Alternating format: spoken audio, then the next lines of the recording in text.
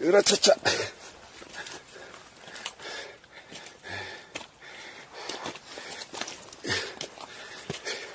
이럴 줄 알았으면 저도 지팡이를 가져올 거 그랬습니다.